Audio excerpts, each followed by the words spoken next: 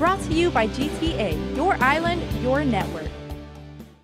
What began with complaints to the Office for Civil Rights at the United States Department of Education has led to a multi state settlement with entities including the Guam Department of Education. The complaints were relative to website accessibility for persons with disabilities. It's, uh, Superintendent uh, Jon Fernandez. So somebody obviously tried to utilize the website and didn't find that it was very accessible for uh, individual disabilities. But then I look at it as a real opportunity to focus in on this issue and, and, and address the issue.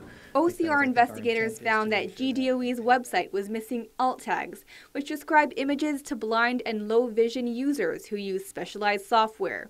Some important content on the website was also only accessible through the use of a mouse, which made it inaccessible to users who are blind, have low vision, or fine motor control disabilities.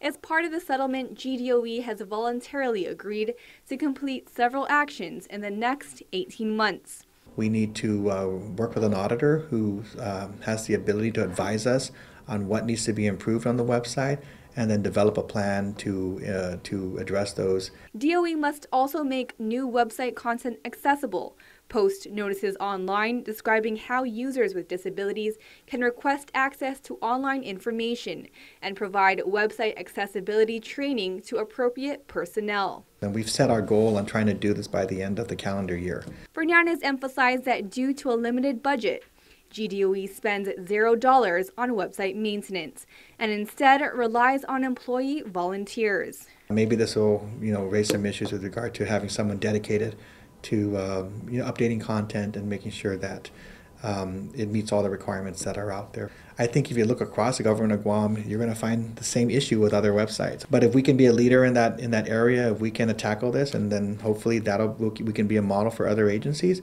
then it's better for for all of our citizens. He said DOE is also working to ensure Guam's campuses are equally accessible. The issue with facilities is that you know facilities were built at different times, and so um, the requirements that were in place at the time that they were built will often be grandfathered in over time. One recent accomplishment is the installation of a new elevator at Tiyan High School.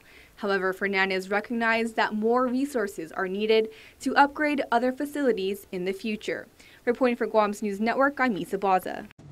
Brought to you by GTA, your island, your network.